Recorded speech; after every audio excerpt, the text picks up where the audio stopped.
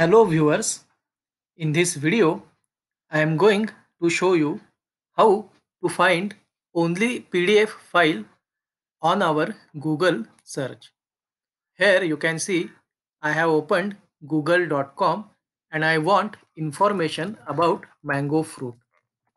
So I have just typed mango fruit and after pressing enter you can see I am getting so many files but I just want only PDF file about information on mango fruit. In this video, I will show you how we can search for only PDF file by using our google.com. So here again, I will just go to google.com and in Google search window, I want to search about mango fruit. So after typing my mango fruit, I will just add file type semicolon and I will type PDF.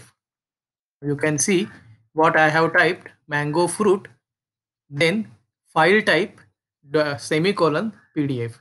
Now I will press enter and you can see now only PDF files are available or my Google is now showing me only PDF files. Here you can see PDF, PDF, here PDF I will scroll down. You can see all files are PDF I will show you by opening one of the file.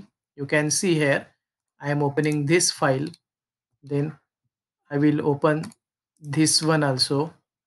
Then I will open this one also. You can see all my files are PDF now I will click here. You can see PDF is there.